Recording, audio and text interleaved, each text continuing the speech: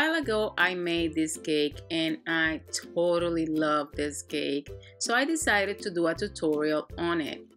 In this video I will show you how to make these gorgeous knitted hearts trimming gold. If you like this type of tutorial feel free to subscribe to my channel. All the links will be posted in the comment box below. I am adding a section to the website in which I will add the full explanation on how I did this full cake, including the tassels and everything on it. I will talk more about this later, but for now let's get started with the tutorial for the hearts. I am using red fondant for this part of the project. I am kneading the fondant really well. I use Chef Master Super Red to color the fondant. Once I kneaded my fondant and roll it with a rolling pin, I am placing it on my mold. I roll the fondant to around a size number 1 in the pasta machine. I want a knitted look in the fondant so I'm using a very basic knitted pattern and I am pressing the fondant really well making sure it's pressed everywhere. Need a big piece of fondant so I just cut a piece enough to be able to cut my two hearts out of it. I am using just a regular heart cutter.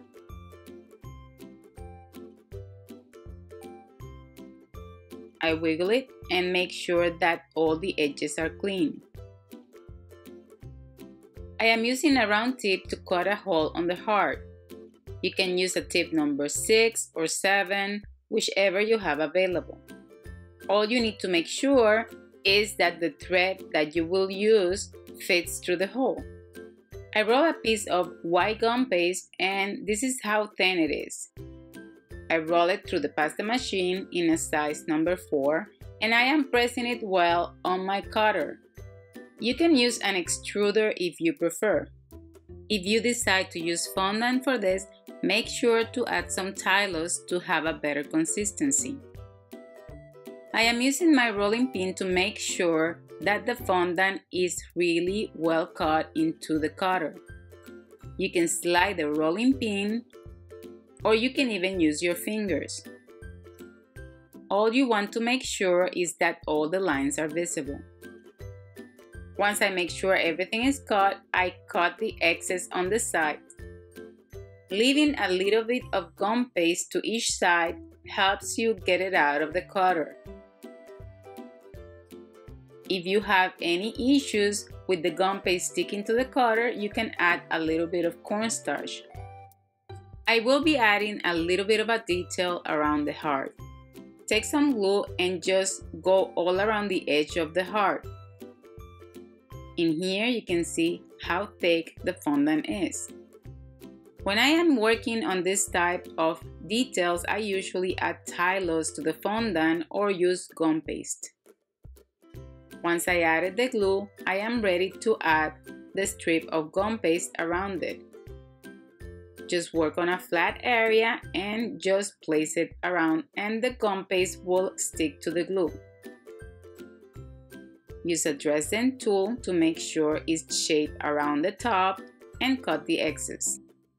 I am leaving a long strip on the bottom because I want to roll that area I take another strip and place it on the other side going all around the heart.